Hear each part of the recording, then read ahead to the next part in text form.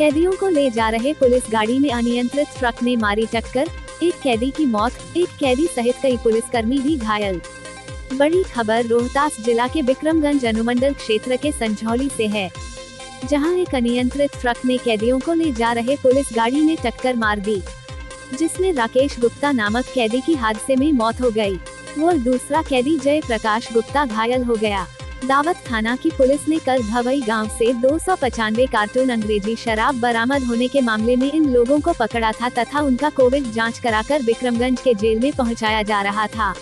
इसी दौरान संझौली के पास नियंत्रक से दुर्घटना हो गई। इस हादसे में जख्मी सभी लोगों को विक्रमगंज के निजी अस्पताल में भर्ती कराया गया है। जख्मी लोगों में दावत थाना के सिपाही कुलदीप कुमार, अमित कुमार, शिव नारायण सिंह तथा चौकीदार अवधेश सिंह है।